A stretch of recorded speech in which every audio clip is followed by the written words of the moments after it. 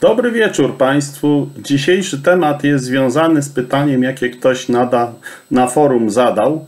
I to pytanie dotyczy kwestii, która jest zapisana w drugiej księdze Mojżeszowej. I tutaj są takie słowa Pana do Mojżesza. Druga księga Mojżeszowa, 33 rozdział.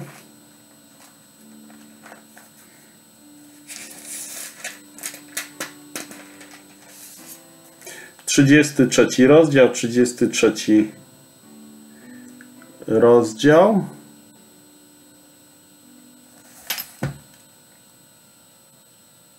Nie, trzydziesty drugi rozdział, przepraszam. Trzydziesty drugi rozdział. Tak, 32 rozdział, 33 werset. I rzekł Pan do Mojżesza, tego, kto zgrzeszył przeciwko mnie, wymarzę z księgi mojej. Czyli tutaj jest podnoszona kwestia taka, że y, Bóg mówi, wymarzę z księgi mojej, wymarzę z mojej księgi. Czyli chodzi o wymazanie z księgi, prawda? Natomiast niektórzy doszukują się tutaj Y, kwestii tego, że chodziłoby o rzekomo utracalność lub nietrwałość lub warunkowość zbawienia, co jest kompletnie niedorzeczne. Przeczytam ten fragment od 31 wersetu. Wrócił tedy Mojżesz do Pana i rzekł: Oto lud ten popełnił ciężki grzech, bo uczynili sobie bogów ze złota. Czyli widać, oddawali się bałwochwalstwu, nie wierzyli w Jachwech Pana, tylko wierzyli w bożki, demony, czyli to byli ludzie zwyczajnie niewierzący. I dalej. Teraz racz odpuścić ich grzech, lecz jeżeli nie, to wymasz mnie ze swojej księgi, którą napisałeś. Czyli Mojżesz, Mojżesz tutaj domaga się, żeby wymazać go z księgi, którą Bóg napisał, jeśli on nie odpuści grzechu, tych ludzi, tego bałwochwalstwa, tej niewiary w Pana. I rzekł Pan do Mojżesza, tego, kto zgrzeszył przeciwko mnie, wymarzę z księgi mojej. Tego, kto zgrzeszył tym grzechem niewiary, bałwochwalstwa, tak? Bo jeżeli czcili demony, czcili bożki, to znaczy, że nie wierzyli w Pana, nie wierzyli w Jachwech. I tu od razu widać, że w tej księdze byli wpisani ludzie, którzy nie wierzyli w Boga. No bo jeżeli zrobili sobie bożki, to znaczy, że nie wierzyli w Boga.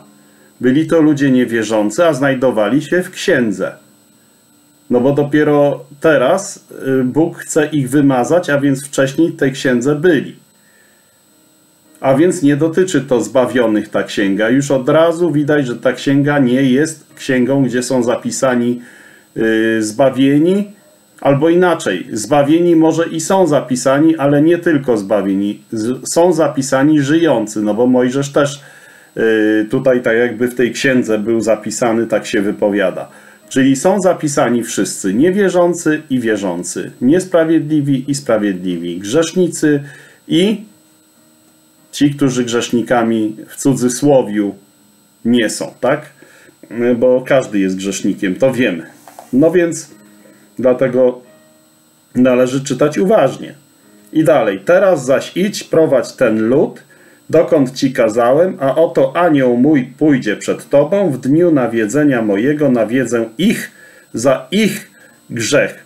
I zesłał Pan karę na lud za to, że uczynili cielca, którego sporządził Aaron. Czyli to wymazanie z księgi jest równoznaczne z tym zesłaniem tej kary. Inaczej mówiąc, wymazanie z księgi jest to jakaś forma, którą tutaj można powiedzieć zastosował Bóg. Na logikę, ale tu nie jest tak napisane, na logikę chodzi o to, że Bóg ich po prostu uśmierci, tych, którzy zrobili tego cielca. I jak popatrzymy na historię Izraela, faktycznie ci niewierzący ludzie zostali potem uśmierceni, ich ciała zasłały pustynię.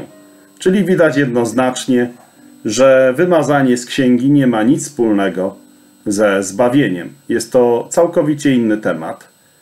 I to jest bardzo ważne, żeby tego nie mylić. I zesłał Pan karę na lud za to, że uczynili cielca, którego sporządził Aaron.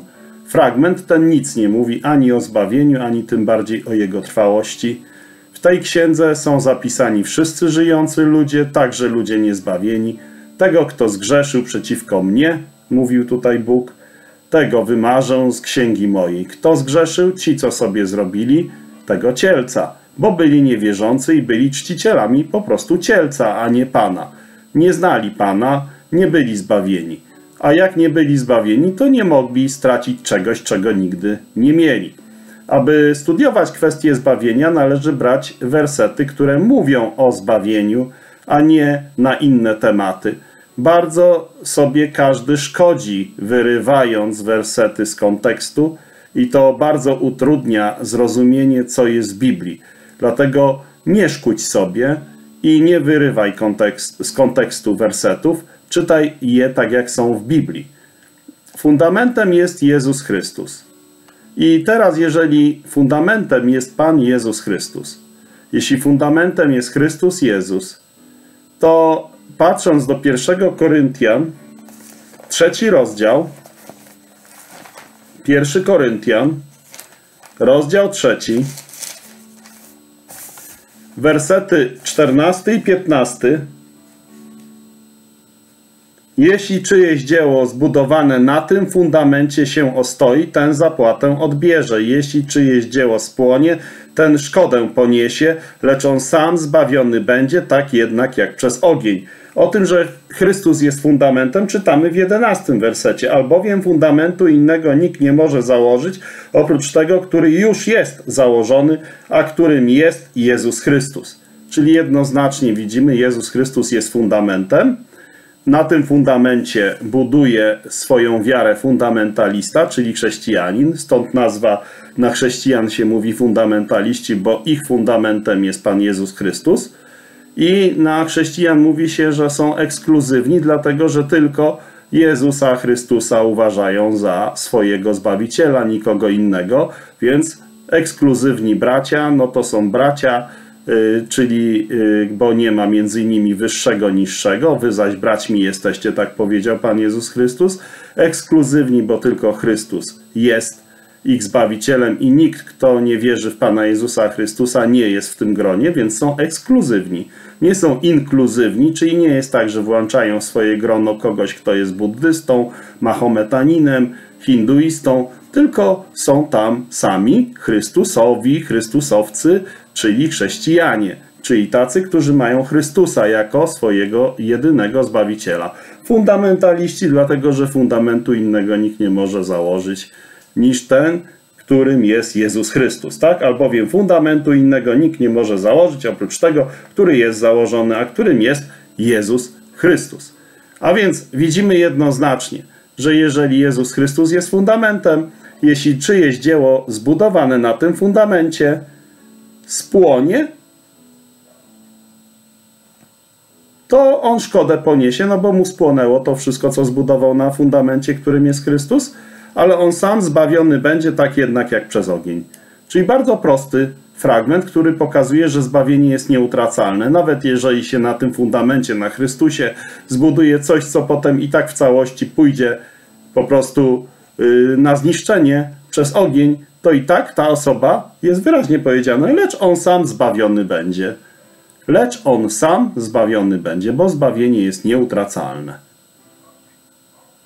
I teraz, jeżeli tak, to warto się zastanowić, czym i jaka jest potrzeba tego, co nazywamy pokutą. Pokuta to zmiana myślenia. Musisz to zrozumieć, że nie możesz się sam zbawić. Musisz to zrozumieć, że Jezus Chrystus jest jedynym zbawicielem. Musisz to zrozumieć, że poza Panem Jezusem nie masz zbawiciela. Musisz to zrozumieć, że Bóg jest dobry, Bóg jest święty i jeżeli nie będziesz y, tak święty, żeby pasować do nieba, to nie wejdziesz do nieba, a własnymi wysiłkami święty nie będziesz, więc no, zasługujesz na to, żeby w niebie się nie znaleźć. Zna, zasługujesz na to, żeby być na wieki wieków w miejscu przygotowanym diabłu i jego aniołom, czyli w jeziorze ognia w piekle. I to musisz zrozumieć, że sam tego nie jesteś w stanie zrobić. Czyli człowiek musi uwierzyć, że sam się nie zbawi, a zbawić go może tylko Bóg. To jest właśnie pokuta, zmiana myślenia.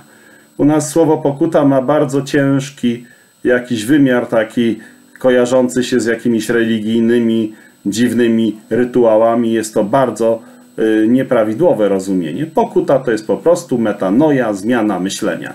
I teraz, jeżeli mamy takie greckie słowo metanoja, które na polski zostało przetłumaczone jako albo pokuta w Biblii Gdańskiej, albo upamiętanie w Biblii Warszawskiej, albo uznanie się w Biblii Brzeskiej. Biblia Brzeska to jest pierwsza Biblia po polsku i tam świetnie tłumacze oddali to słowo uznać się. Musisz się uznać, że jesteś niewart nieba, musisz uznać się, że jesteś y, po prostu bez Boga stracony, że bez Boga idziesz na zagładę.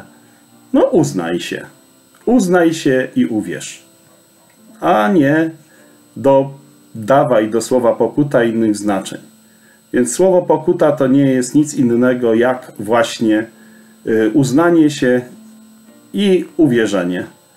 Oczywiście jest też inne rozumienie słowa pokuta i to zawsze w kontekście, z którego dany tekst pochodzi, należy brać pod uwagę. Ja tu mówię o tym y, punkcie, gdzie pokuta jest wymieniana jako warunek zbawienia.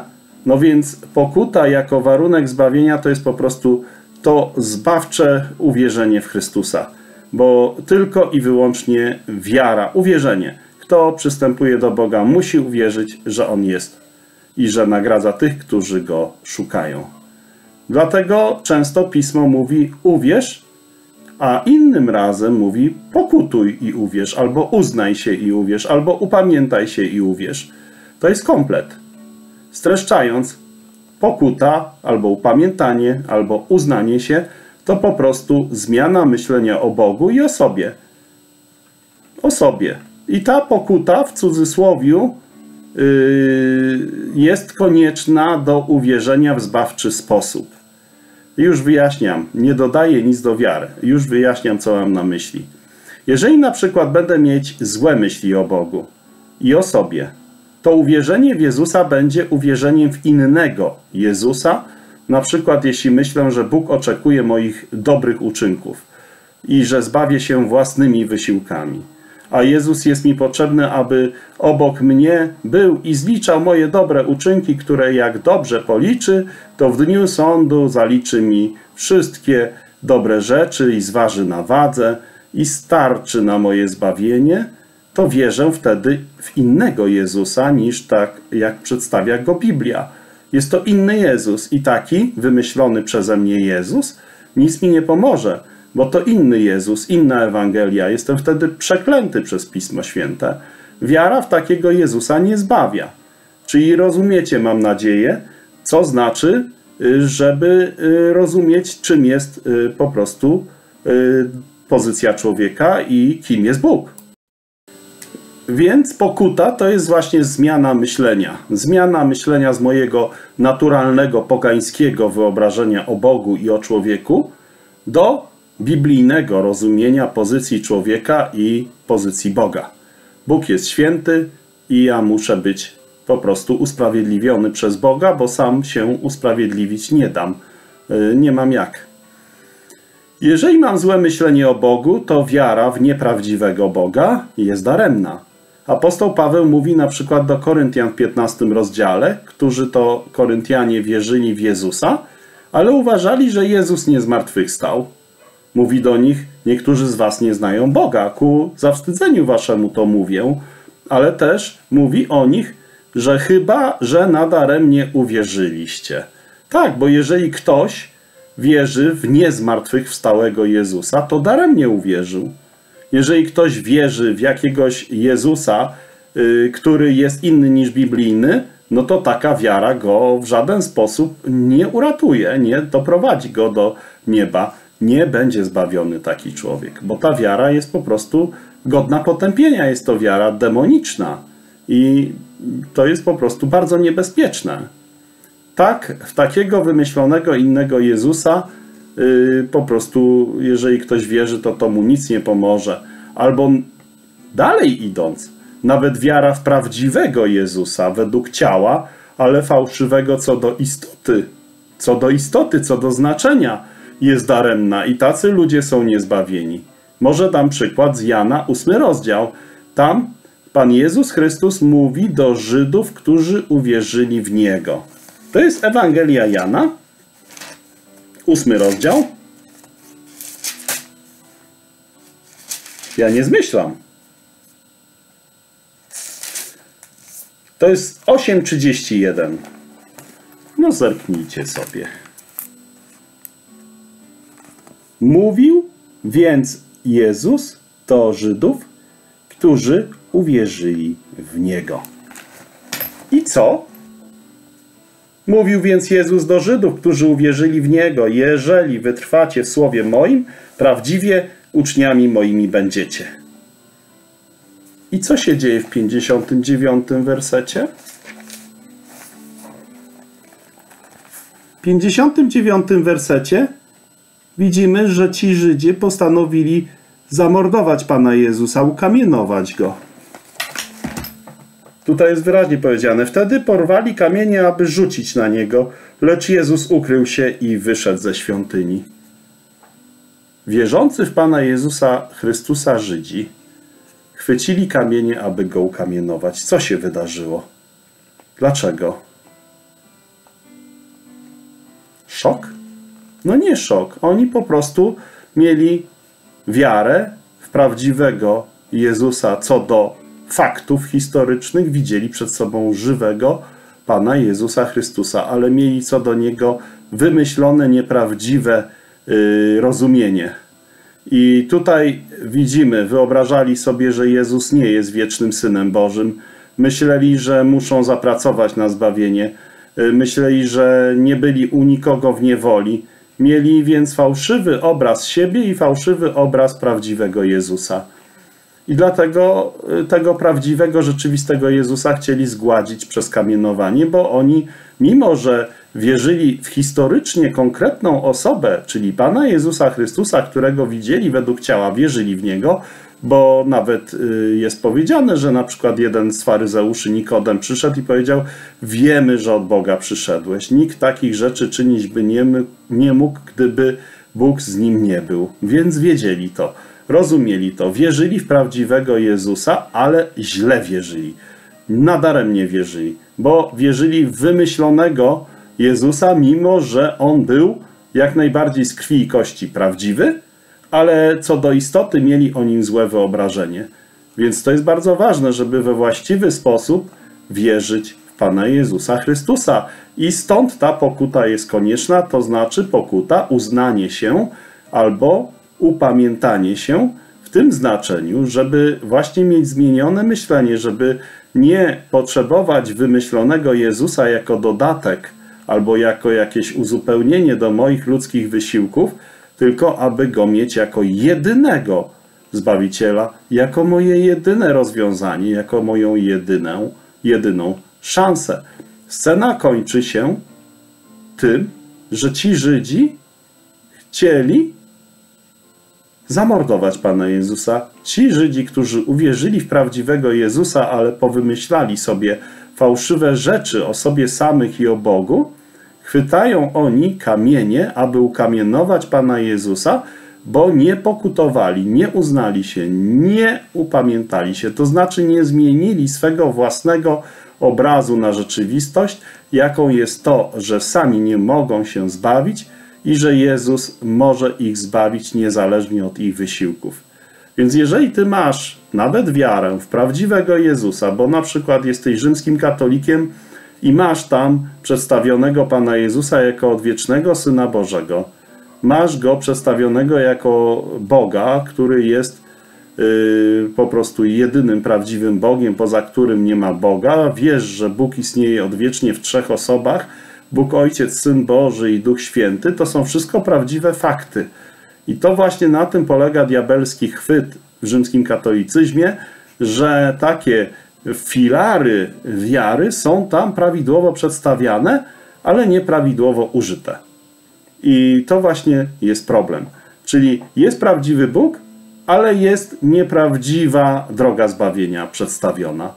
I więc macie przykład tego, że jest wszystkie fakty takie stabilne, takie jak wiara w trójjedynego Boga, takie, że jest jeden Bóg odwiecznie istniejący w trzech osobach, takie, że Jezus jest odwiecznym Synem Bożym, takie są fakty podtrzymywane, ale jeśli chodzi o zbawienie, powymyślali sobie rzymscy katolicy różne bzdury, które kompletnie zamykają im tą drogę zbawienia.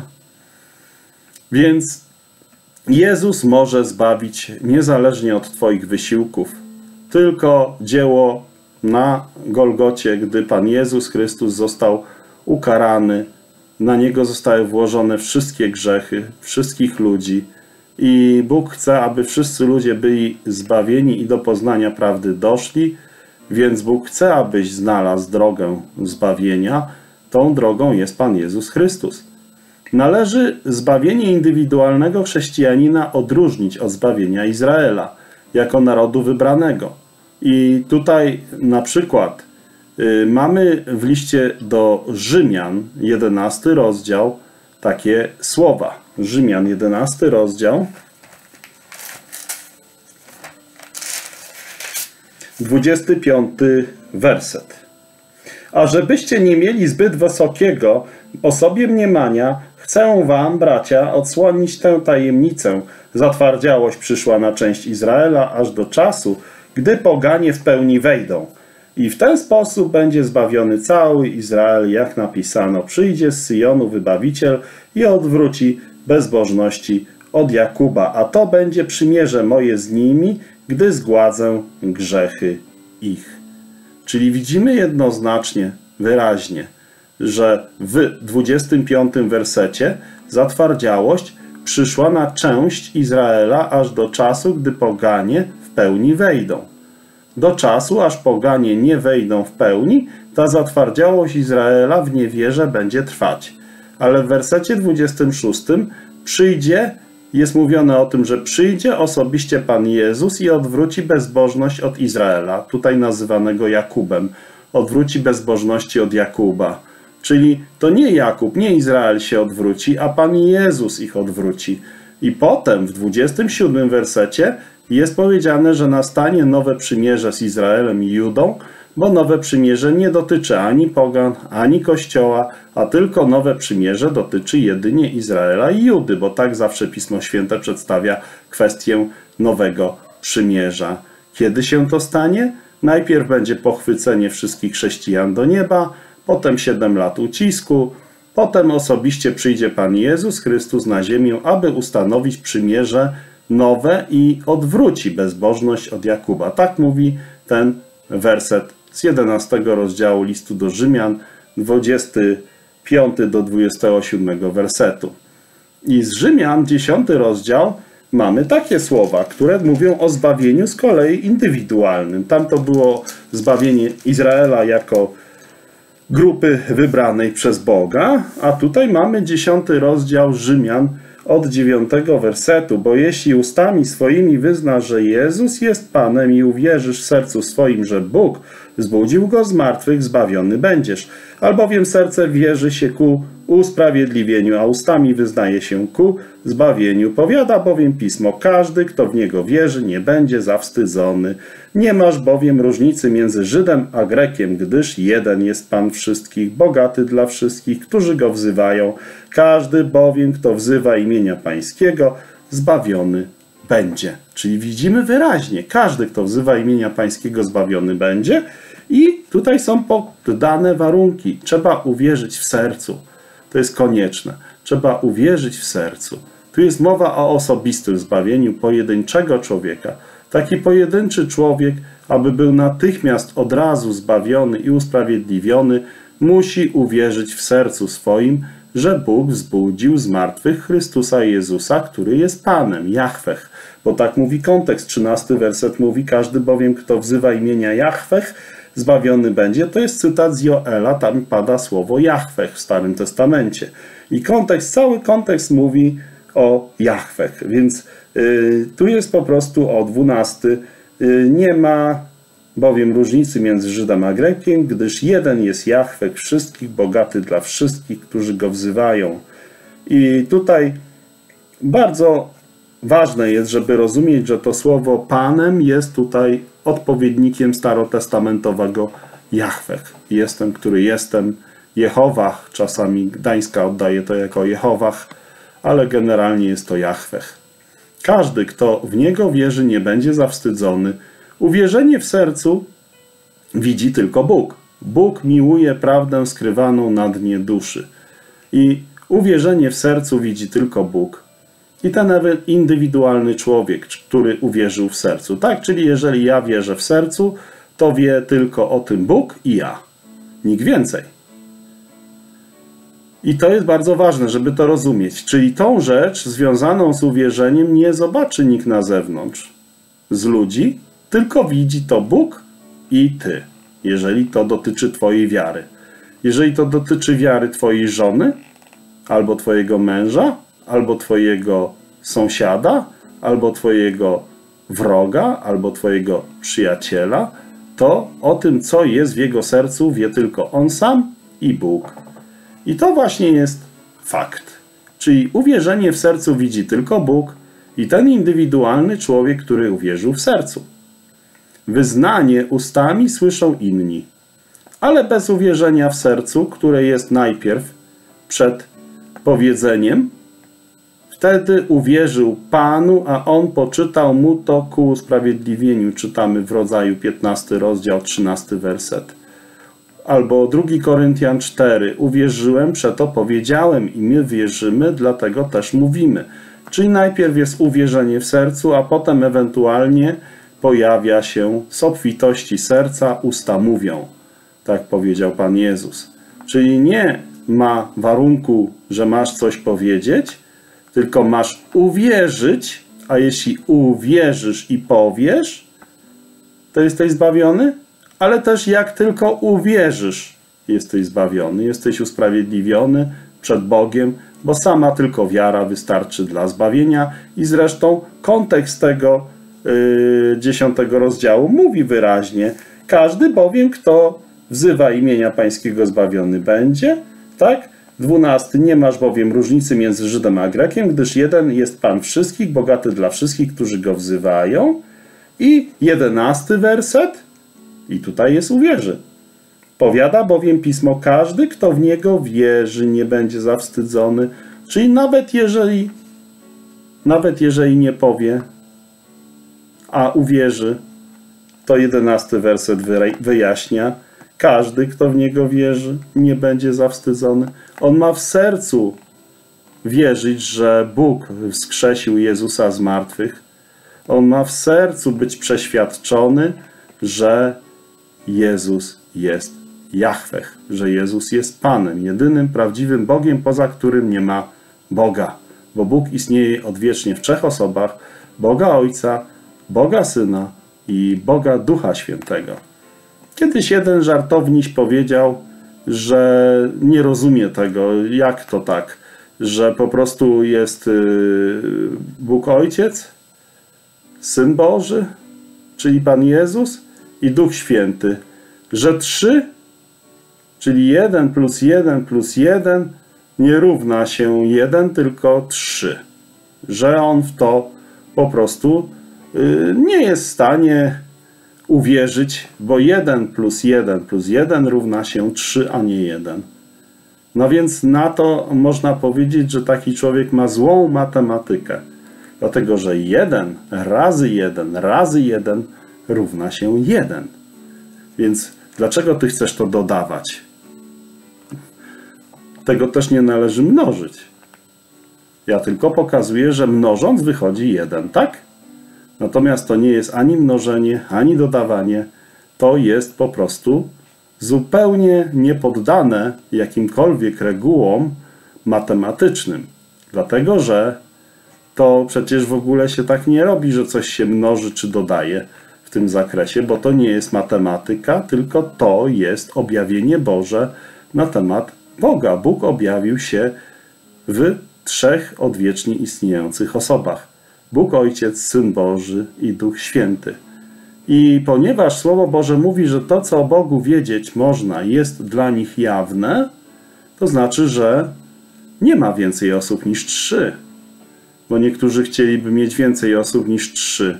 To wtedy te słowa, że to, co o Bogu wiedzieć można, jest dla nich jawne, gdyż Bóg im to objawił, to byłoby wtedy, no po prostu to słowo nie mogłoby być powiedziane, a one takie słowo jest. Czyli skoro Biblia przedstawia nam te trzy osoby, to nie ma czwartej osoby. Są trzy osoby Boże: Bóg Ojciec, Syn Boży i Duch Święty. I każda z tych trzech osób jest równa co do chwały i co do wieczności, co do wszystkich pozytywnych atrybutów. I generalnie musimy to wiedzieć i rozumieć. I tutaj te słowa, bo jeśli ustami swoimi wyznasz, że Jezus jest Panem i uwierzysz sercu swoim, że Bóg zbudził go z martwych, zbawiony będziesz. Te słowa nie pozwalają wierzyć w utracalność zbawienia, bo nie wymaga, aby wierzyć, ale jeden raz uwierzyć. Tam jest słowo uwierzyć, bo jeśli uwierzysz, prosty wniosek, że zbawienie jest nieutracalne, raz zbawiony, na zawsze zbawiony. Zbawienie jest wieczne, raz na zawsze, bo tak uczy Rzymian 10:9, bo jeśli uwierzysz sercu swoim, że Bóg zbudził go z martwych, zbawiony będziesz, albowiem sercem wierzy się ku usprawiedliwieniu, powiada bowiem pismo, każdy, kto w niego wierzy, nie będzie zawstydzony. Jest wyraźnie to powiedziane, prawda? I mamy kolejny fragment w Dziejach Apostolskich, 16 rozdział, 30 werset. Dzieje apostolskie 16:30.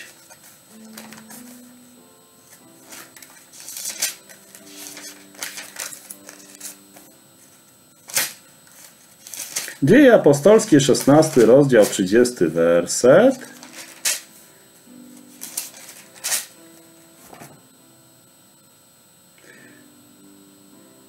Panowie, co mam czynić, abym był zbawiony? A oni rzekli: Uwierz Pana Jezusa, a będziesz zbawiony ty i twój dom. I głosili słowo Pańskie jemu i wszystkim, którzy byli w jego domu. Tejże godziny w nocy zabrał ich ze sobą, obmył ich rany i zaraz został ochrzczony on i wszyscy jego domownicy. Czyli widzimy wyraźnie, że tutaj jest powiedziane, że uwierzenie wystarczy do zbawienia. Oni głosili Słowo Boże wszystkim jego domownikom, oprócz tego, że głosili jemu. I jeżeli uwierzyli, to zostali zbawieni. Tutaj niektórzy chcą widzieć chrzest niemowląt. Mówią, albo może w tym domu były niemowlęta i wtedy zostały ochrzczone. Nie będę w to wnikał, ale jest tutaj wyraźnie powiedziane, że głosili słowo Pańskie wszystkim, którzy byli w jego domu i skoro mieli głoszone słowo Pańskie wszyscy, którzy byli w jego domu, no to głoszenie to jest y, coś, co ma po drugiej stronie odbiorcę, tak? Jeżeli ja teraz tej szklance będę głosił to znaczy, że jestem szalony. Nie da się głosić szklance, bo ona nie jest w stanie odpowiedzieć. Czy niemowlę jest w stanie odpowiedzieć? Czy można głosić niemowlęciu? Pewnie można mu coś powiedzieć, ale liczyć na to, że będzie świadoma, wyraźna reakcja w postaci wiary, to jest ponad nasze zdolności oceny. Ja nie kwestionuję tego, że ktoś może w wieku pół roku być na tyle kumaty, że uwierzy. Natomiast nie ma możliwości, aby ten fragment dawał nam takie uprawnienie wyciągania tego typu wniosków. Panowie, co mam czynić, abym był zbawiony? A oni rzekli: Uwierz Pana Jezusa, a będziesz zbawiony. Dzieje 16 nie pozwala wierzyć w utracalność zbawienia bo nie wymaga, aby wierzyć, ale uwierzyć, uwierzyć, uwierz. Jeden raz uwierzyć i już jest się raz na zawsze zbawionym. Niezależnie, czy się wiarę później ma, czy nie. Wiara jest miła. Nadzieja jest miła. Miłość jest miła. Wiara, nadzieja, miłość. I one wypływają z serca zbawionego, ale są konsekwencją i skutkiem, rezultatem i następstwem po zbawieniu także. Tak, bo jeżeli teraz mamy przykład, Duch Święty jest dany chrześcijaninowi w momencie uwierzenia. I potem ten Duch Święty rozlewa miłość w sercu. To jest Rzymian, piąty rozdział z tego, co mi się wydaje. Rzymian 5:5. A nadzieja nie zawodzi, bo miłość Boża rozlana jest w sercach naszych przez Ducha Świętego, który nam jest dany. Czyli pierw musiał być dany Duch Święty, a potem On zaczął rozlewać miłość w sercu. I ta miłość była na tyle rozlana, że się zaczęła wylewać. A więc nie masz swojej własnej miłości. A kiedy dostaje się Ducha Świętego? Duch Święty został dany człowiekowi dopiero w momencie uwierzenia. Czyli bez uwierzenia nie ma Ducha Świętego w życiu człowieka. Nie ma Ducha Świętego, nie ma rozlanej miłości. Ponownie, podobnie inne wiara, nadzieja i miłość są właśnie produktem zbawienia, a uwierzenie to jest coś, co jest na początku i wiadomo, że to jest tak, że uwierzył i wierzy już, tak? Ale wierzenie, czyli jako trwałe, ciągłe wierzenie, nie jest warunkiem zbawienia. Zbawienia warunkiem jest uwierzenie. Jednorazowe uwierzenie. Teoretycznie, gdyby ktoś tej wiary później nie miał, tak jak Piotr, apostoł, gdy zaczął chodzić po wodzie, uwierzył i poszedł, ale potem stracił wiarę i zaczął tonąć. To Pan Jezus nie machnął na niego ręką, tylko wyciągnął rękę i powiedział czemuś, żeś zwątpił. Więc tak samo jest z wierzącym. Wierzący jest nieutracalnie raz na zawsze zbawiony na podstawie doskonałej ofiary Pana Jezusa Chrystusa. Aby ją mieć zaliczoną na swoje konto, wystarczy uwierzyć, przyjąć dar Boży, który jest bezpłatnym, wolnym darem. Oczywiście darczyńca ma prawo dookreślić jakieś wymagania wobec obdarowanego, tak jest nawet w ludzkim prawie, natomiast nie ma obowiązku tego czynić i faktycznie Bóg tego nie czyni. Bóg niczego nie oczekuje od osoby zbawionej, przed tym, jak jest zbawiona, nic nie oczekuje, bo czego można oczekiwać od mordercy Syna Bożego? No przecież ja tymi rękami, nie fizycznie, ale mordercami, którzy wtedy dopadli Pana Jezusa Chrystusa, ja osobiście zamordowałem Syna Bożego. Moje grzechy to zrobiły, a więc ja. A to oznacza, że ode mnie jako mordercy Pana Jezusa Chrystusa nie można niczego wymagać. No to jest już wymaganie nadmierne. No czego można oczekiwać od mordercy Syna Bożego? Niczego Bóg nie oczekuje.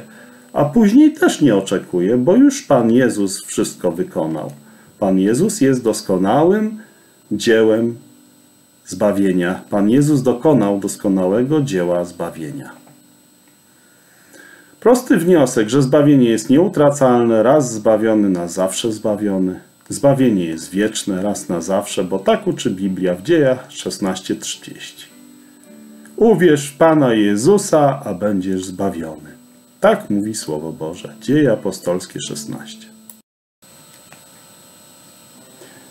I dalej mamy kolejne miejsce z dziejów apostolskich, drugi rozdział, 20 werset. Dzieje apostolskie, drugi rozdział, werset 20.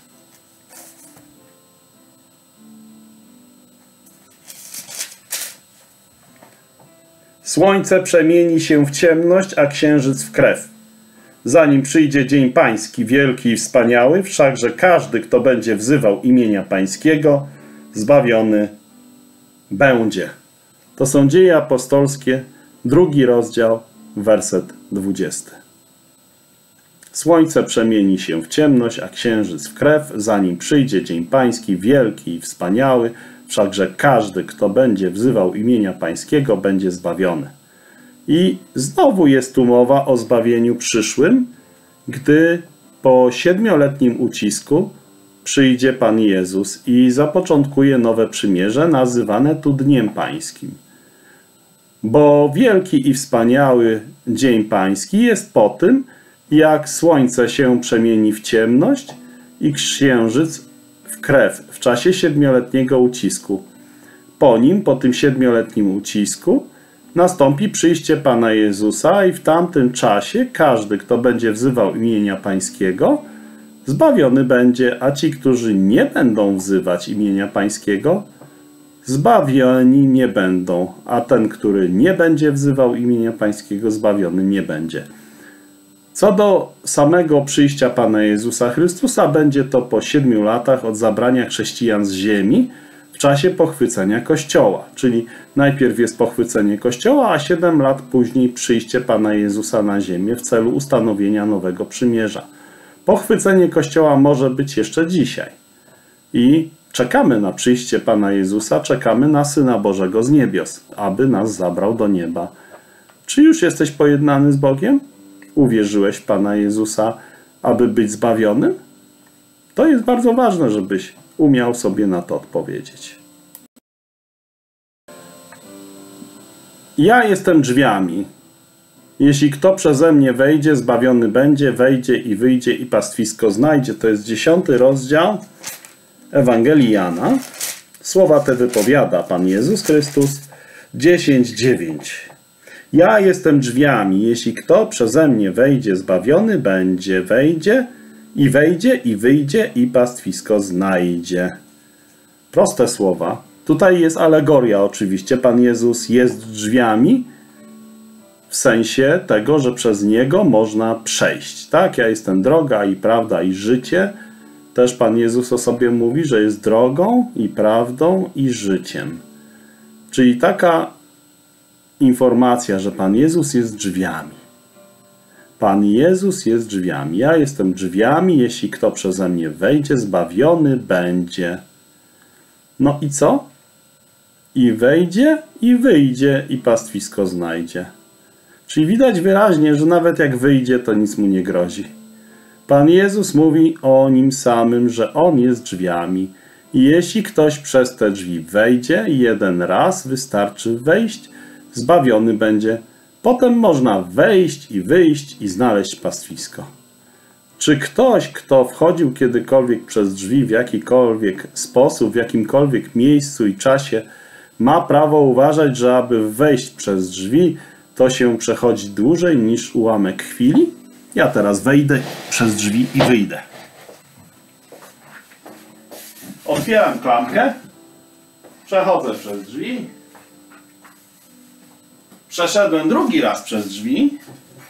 Zamykam drzwi. Dwukrotnie przeszedłem przez drzwi przez tą chwilę. Jeżeli ktoś potrzebuje więcej czasu na to, żeby być zbawionym, to prawdopodobnie przedłuża, bo ja aż dwa razy przeszedłem przy, w tym czasie przez drzwi. Więc proces zbawienia nie jest długotrwały. Proces zbawienia to jest albo inaczej Naciskam na klamkę, wchodzę przez drzwi. Mało tego, Pan Jezus nie jest zamkniętymi drzwiami, Pan Jezus jest po prostu drzwiami. Więc być może nawet tam nie ma klamki, tylko jest po prostu otwarte drzwi, przechodzę i już wchodzę. To nie jest tak, że te drzwi są w jakikolwiek sposób trudne do przejścia bo Pan Jezus chce, żebyś przeszedł przez te drzwi, bo Bóg chce, aby wszyscy byli zbawieni i do poznania prawdy doszli. I to jest bardzo ważne, żeby to rozumieć. Więc co do drzwi. Czy ktoś wchodził kiedykolwiek przez drzwi w jakimkolwiek miejscu i czasie dłużej niż chwilę? Myślę, że nie. Po to Pan Jezus użył tego przykładu drzwi, bo przez drzwi wchodzimy setki razy dziennie i zawsze się to dzieje bardzo szybko i sprawnie. I Pan Jezus uczy tu od razu o nieutracalności zbawienia. Pan Jezus uczy tu od razu nieutracalności zbawienia, bo zbawiony wejdzie i nie musi ciągle siedzieć. Nie musi, bo Pan Jezus mówi: wejdzie i wyjdzie. Można po wejściu wyjść i nie ma to wpływu na zbawienie. Wystarczy raz w życiu wejść przez drzwi zwane Jezus. To jest metafora. Jezus porównuje się tu do drzwi. Z wcześniejszych miejsc wiemy, że to chodzi o uwierzenie w Pana Jezusa, aby być zbawionym przez Pana Jezusa. Wystarczy raz jeden uwierzyć w Pana Jezusa, bo o tym mówi nam przejście przez drzwi i żadnych innych dodatkowych warunków, żadnych innych dodatkowych ograniczeń. Bóg niczego nie wymaga od człowieka, aby człowiek był zbawiony, ani przed uzyskaniem zbawienia, ani po uzyskaniu zbawienia. Trzeba tylko i wyłącznie przyjąć dar Boży, jakim jest zbawienie w Panu Jezusie Chrystusie. Wszystko wykonał Pan Jezus na krzyżu Golgoty. Golgoty. Ten dar zbawienia jest za darmo i jest nieutracalny, bo zbawienie jest darem, a nie pożyczką. Zbawienie jest darem, a nie zaliczką. To jest bardzo ważne, żeby to rozumieć.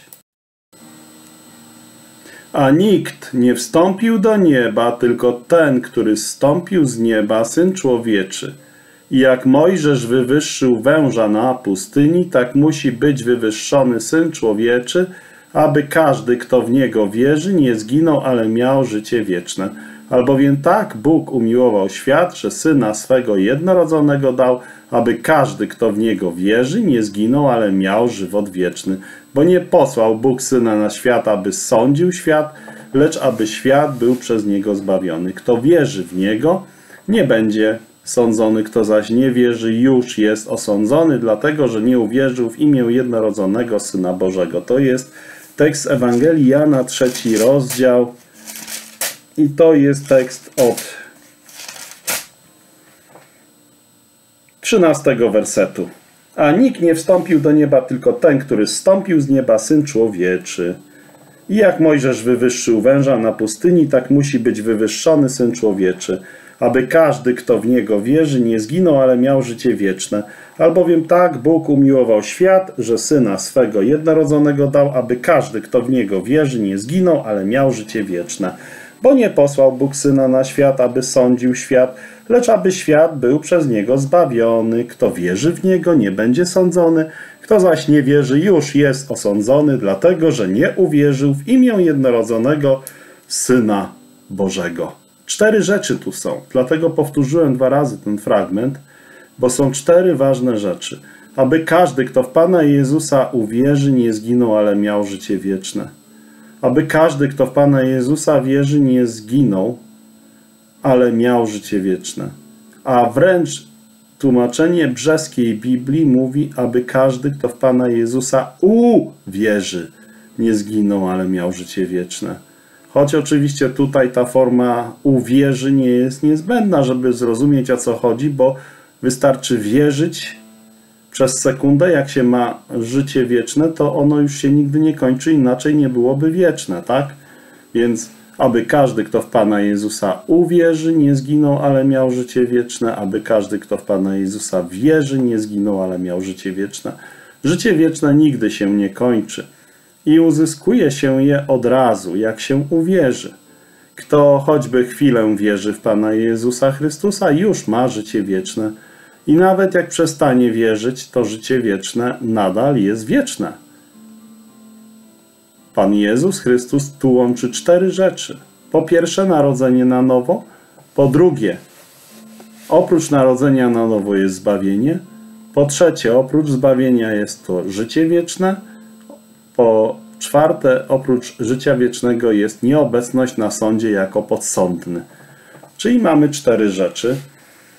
Narodzenie na nowo, nieobecność na rozprawie sądowej jako podsądny, życie wieczne i zbawienie. Te cztery rzeczy są w tym fragmencie. Ten, kto uwierzył w Pana Jezusa, aby być zbawionym, nie będzie nigdy sądzony. A to znaczy, że nie ma jak go wrzucić do piekła. No bo musi być sąd najpierw, żeby wrzucić do piekła, ale wierzący nigdy na sądzie nie stanie. Ten, kto uwierzył w Pana Jezusa, aby być zbawionym, ma życie wieczne, to znaczy, że nie ma jak go pozbawić nieba. Bo gdzie znajdzie się na całą wieczność, jak po prostu ma życie wieczne w niebie? Ten, kto uwierzył w Pana Jezusa, aby być zbawionym, jest narodzony na nowo przez Boga. A to znaczy, że nie ma jak go pozbawić praw dziecka Boga. Ten, kto uwierzył w Pana Jezusa, aby być zbawionym, jest zbawiony, a to znaczy, że nie ma potrzeby nic robić, aby być zbawionym, bo już jest zbawiony. I tutaj Marka 16 rozdział jest bardzo ważny. 16 rozdział, 15 werset. Pan Jezus mówi wyraźnie. I rzekł im, idąc na cały świat, głoście Ewangelię wszystkiemu stworzeniu. Kto uwierzy i ochrzczony zostanie, będzie zbawiony, ale kto nie uwierzy, będzie potępiony. Czyli widzimy, kto uwierzy, będzie zbawiony. Prosty wniosek, że zbawienie jest nieutracalne. Raz zbawiony, na zawsze zbawiony. Zbawienie jest wieczne raz na zawsze, bo tak uczy Biblia w Marka 16. I będziecie w nienawiści u wszystkich do, dla imienia mego. Też takie słowa Pan Jezus mówi w Mateusza 10 rozdział. Mateusza 10 rozdział.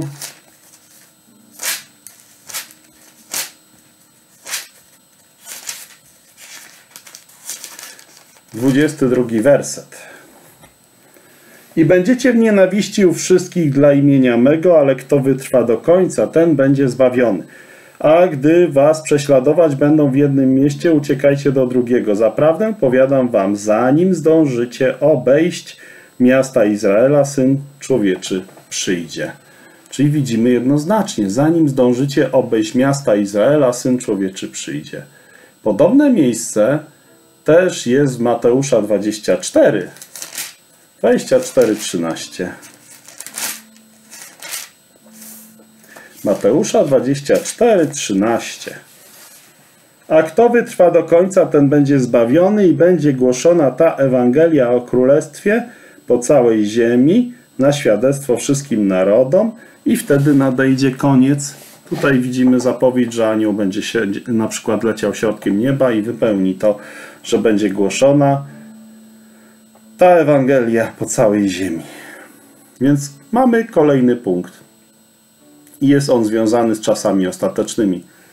I kolejne miejsce jest związane z Marka 13. Marka 13, werset 13-14 i będziecie w nienawiści u wszystkich dla imienia mego, ale kto wytrwa do końca, będzie zbawiony. Gdy tedy ujrzycie ohydę spustoszenia, stojącą tam, gdzie stać nie powinna, kto czyta, niech uważa. Wtedy ci, co są w Judei, niech uciekają w góry. Widzimy jednoznacznie, że mamy tutaj wyraźnie pokazane, że znowu jest to związane z czasem wielkiego ucisku. I więcej miejsc kto wytrwa do końca, zbawiony będzie w Biblii nie ma.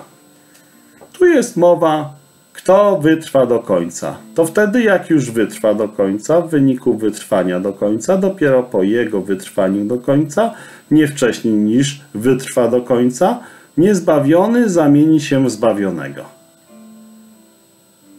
Tak? Powtórzę. Tu jest napisane, kto wytrwa do końca. To znaczy, że wtedy jak już wytrwa do końca osiągnie zbawienie. Przed wytrwaniem do końca nie osiągnie zbawienia. Przed wytrwaniem do końca ten człowiek zbawiony nie jest. W wyniku wytrwania do końca, po, dopiero po jego wytrwaniu do końca, nie wcześniej niż wytrwa do końca, niezbawiony zamieni się w zbawionego. Jak widać w kontekście, tu chodzi o to samo zbawienie niektórych z Izraela. Czyli to nie chodzi o zbawienie indywidualnej osoby, ale również indywidualnej osoby, jak ona dotrwa do końca. Przed wytrwaniem do końca ta osoba w ogóle nie jest zbawiona. O co tu chodzi? Prawda? Wytrwa do końca. O jaki koniec chodzi? Należy zbawienie indywidualnego chrześcijanina odróżnić od zbawienia Izraela jako narodu wybranego i indywidualnych ludzi, takich którzy należą do Izraela, którzy wytrwają do końca. Ale tutaj też jest powiązanie z Tomaszem, tak? Apostoł Tomasz właśnie taki był, że nie uwierzył, jak nie widział, tylko musiał najpierw dotknąć i dopiero uwierzył. Więc Mateusza 10:23 mówi wprost, że to tyczy się czasu w Izraelu przed przyjściem Syna Człowieczego w celu ustanowienia nowego przymierza z Izraelem i Judą. Mateusza 24:14 mówi o ohydzie spustoszenia, jaką zapowiedział Daniel, a ta ohyda spustoszenia stanie w połowie siedmiolet, siedmioletniego okresu ucisku, czyli 70 tygodnia Daniela, opisanego w Daniela 9:27. I w połowie tego siedmioletniego ucisku, czyli 3,5 roku po pochwyceniu i 3,5 roku przed rozpoczęciem nowego przymierza, albo 42 miesiące po zabraniu wszystkich chrześcijan z ziemi i 42 miesiące przed przyjściem Jezusa na ziemię oraz 1260 dni po zabraniu Ducha Świętego z ziemi do, do nieba razem z wszystkimi wierzącymi i 1260 dni przed tym, jak Jezus tchnieniem ust swoich zabije antychrysta. Albo bezbożnika może lepiej. Kto z Izraelitów wytrwa do końca tego strasznego ucisku, będzie zbawiony, nie wcześniej. Dlatego Jezus skrócił te dni do 1260 ze wspomnianych wcześniej 1290 w Daniela 12:11. Daniela 12 rozdział 11 werset mówi następujące słowa. Od czasu zniesienia stałej ofiary codziennej, czyli w połowie tego siedmiolecia, i postawienia obrzydliwości spustoszenia, upłynie 1290 dni. Błogosławiony ten, kto wytrwa i dożyje do 1335 dni. Czyli widzimy jednoznacznie, że dlatego Jezus skrócił te dni do 1260 ze wspomnianych wcześniej 1290 Daniel 12:11 i wspomnianych 1335 dni. I tutaj mamy księdza Daniela 12:12, 12, jak przed chwilą czytaliśmy, błogosławiony, kto wytrwa i dożyje do 1335 dni. Natomiast każdy z tych ludzi w dowolnym momencie pokładać y, może siły nie w swoim wytrwaniu do końca, ale będzie mógł uwierzyć Pana Jezusa i być zbawionym natychmiast, od razu, w taki sam sposób jak każdy inny wierzący zbawiony. Abraham, Noe, Abel, Piotr, Samson, Lot, Paweł, Filip, Szczepan, ja. I tutaj będzie to powszechne. Środkiem nieba będzie lecieć głosiciel głoszący Ewangelię w każdym języku. Bo tak jest powiedziane, że musi być ta Ewangelia głoszona po całym świecie i dopiero nadejdzie koniec. Ludzie się z tego nie wywiążą, dlatego dopiero anioł będzie leciał środkiem nieba i on będzie tą Ewangelię głosił. Te wszystkie wcześniejsze ludzkie zabiegi, niestety, to jest nic w porównaniu z tym, co zrobi ten anioł i inni yy, głosiciele wysłani bezpośrednio przez Boga. Są potrzebni, ale ten anioł dokończy tego dzieła. Objawienie 14:6 mówi o nim. Anioła lecącego środkiem nieba, który miał Ewangelię wieczną, aby ją zwiastować mieszkańcom ziemi i wszystkim narodom. I jak to szło? Objawienie 14:6.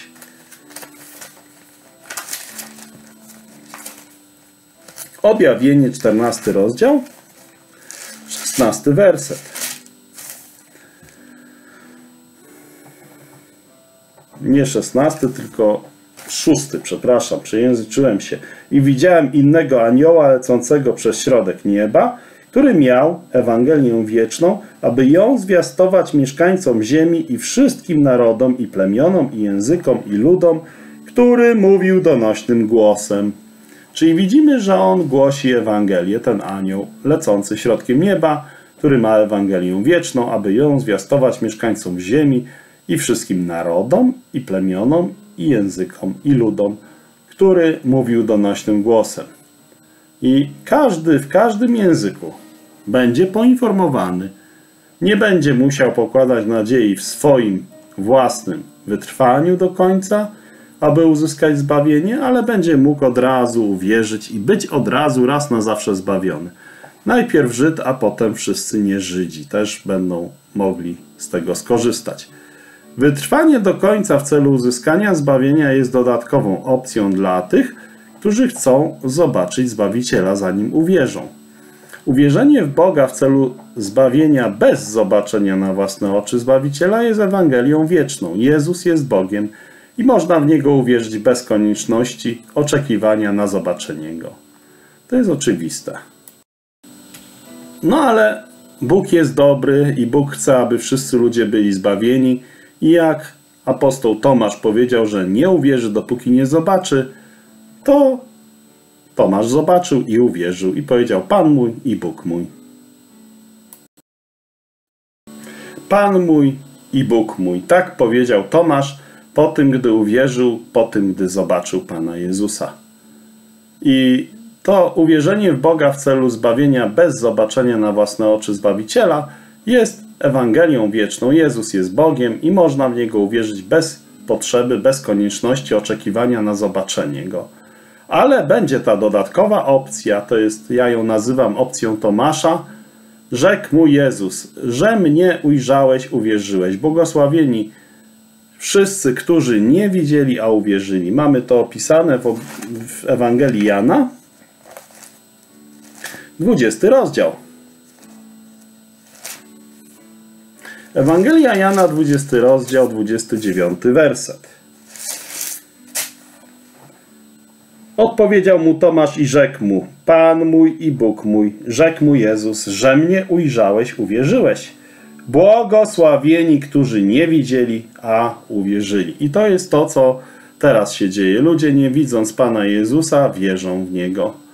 I Tomasz stał się wierzącym dopiero jak zobaczył. I to widzimy między innymi chwilę wcześniej od wersetu 20.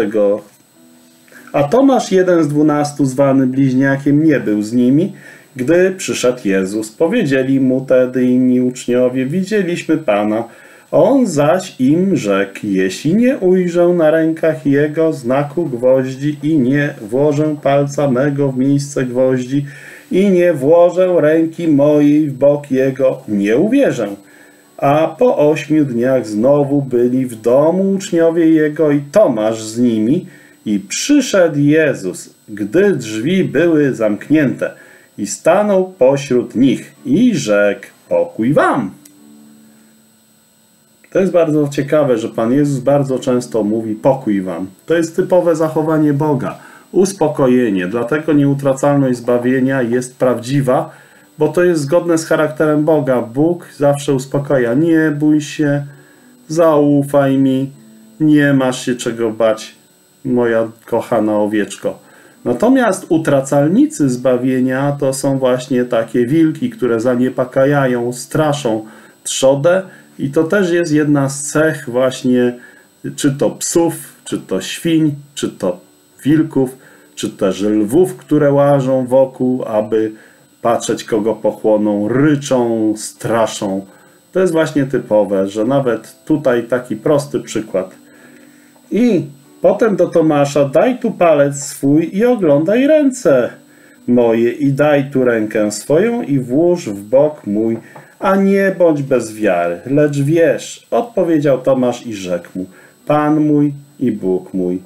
Rzekł mu Jezus, że mnie ujrzałeś, uwierzyłeś, znowu słowo uwierzył. Błogosławieni, którzy nie widzieli, a uwierzyli. Nie wierzyli, ale uwierzyli. Czyli bardzo ważne jest to, aby uwierzyć. I tutaj mamy wyraźnie pokazane właśnie na przykładzie Tomasza. I tak samo Izraelici zobaczą, kogo przebili, zobaczą i uwierzą. Ale aby zobaczyć i uwierzyć, najpierw muszą wytrwać do końca, aż Jezus osobiście przyjdzie na ziemię. A jak nie doczekają, to nie zobaczą. Tak samo Tomasz, jakby mu się coś stało między tym pierwszym spotkaniem a drugim, kiedy Pan Jezus przyszedł, też by nie doczekał i by nie zobaczył. Każdy z nich może zrezygnować z opcji Tomasza i może uwierzyć nie widząc. Daniel 12 rozdział 12 werset mówi Błogosławiony kto wytrwa i dożyje do 1335 dni. Przed chwilą to czytaliśmy ze Słowa Bożego. Pan Jezus nawiązując do tego mówi błogosławieni, którzy nie widzieli, a uwierzyli. Tak Daniel mówi o tych, którzy będą czekać i uwierzą dopiero jak zobaczą. Tutaj Pan Jezus w Jana 20 mówi błogosławieni, którzy nie widzieli, a uwierzyli. Uwierzyć można ku życiu wiecznemu, uwierzyć ku żywotowi, którzy mają weń uwierzyć ku życiu wiecznemu, a królowi wieków nieśmiertelnemu, niewidzialnemu, jedynemu Bogu, niechaj będzie cześć i chwała na wieki wieków. Amen. To mówi apostoł Paweł, pisząc w pierwszym liście do Tymoteusza, pierwszy rozdział. Uwierzyć ku życiu wiecznemu. Apostoł Paweł wyraźnie uczy tu, że należy uwierzyć ku życiu wiecznemu. Uwierzenie jest jednorazowe. Uwierz Pana Jezusa, a będziesz mieć życie wieczne. Uwierz Pana Jezusa, a będziesz zbawiony. Dziękuję Państwu za uwagę. Jeśli ktoś ma życzenie otrzymać Nowy Testament Pana Jezusa Chrystusa, to chętnie, bezpłatnie podzielę się akurat takim wydaniem lub podobnym i zachęcam do kontaktu. 739 089 088 to mój numer telefonu. małpaonet.pl to mój e-mail. Skrytka pocztowa 31 63 500 Ostrzeszów to jest adres stacjonarny. Zachęcam do czytania Słowa Bożego, Biblii tak żebyście mieli na podstawie Słowa Bożego wyrobione zdanie, co jest prawdą. Uwierz w Pana Jezusa Chrystusa, a będziesz zbawiony. To jest najważniejsza rzecz, żeby uwierzyć w Pana Jezusa Chrystusa. Z Bogiem.